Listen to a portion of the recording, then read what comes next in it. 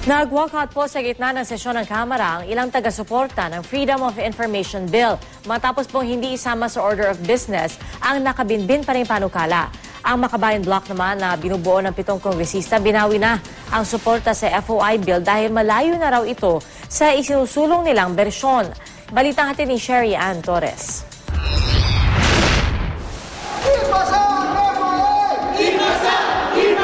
Nauwi sa pag-walkout ng mga grupong sumusuporta sa Freedom of Information Bill ang inaasahan nilang unang araw ng pagtalakay dito ng Kamara.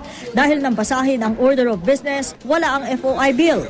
I would just like to ask uh, Mr. Speaker, uh, when do the Committee on Rules intend to include in the order of business uh, the Freedom of Information Bill?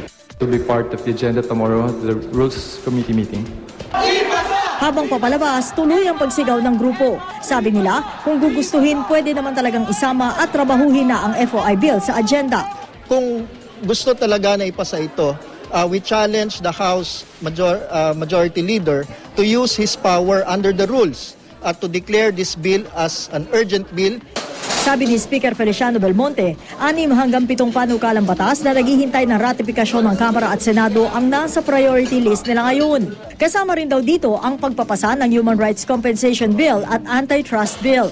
Sabi ni Belmonte, isasalang na ang FOI Bill. Yun nga lang, The question of, uh, of a quorum is not for me or anybody else to say. No? Ilang oras bago magsesyon, binawi ng Makabayan Block na binubuo ng Bayan Muna, Gabriela, Anak Pawis, Alliance of Concerned Teachers at Kabataan Party List Groups ang kanilang suporta sa FOI Bill. Tutol kasi ang mga ito sa exempted provisions ng FOI Bill tulad ng issue sa national security na ipinasama ng Malacanang. Ang problema because of these amendments, nag-mutate itong ah, freedom of information. Hindi na siya freedom of information, freedom of exception na siya.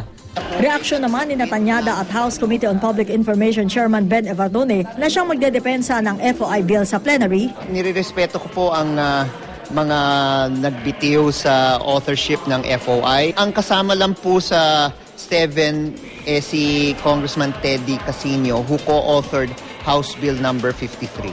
Sabi ko sa inyo eh, yung isa yun sa mga issues na hindi na re-resolve yung national security issues eh. So, Sa labas naman ng Kamara, nagrally din ang iba pang militanteng grupo para igiit na maisama sa huling siyam na araw ng sesyon ng Kongreso ang mga panukalang batas na nagsusulong ng 125 peso wage hike at land reform at social bills. Sherian Torres, GMA News.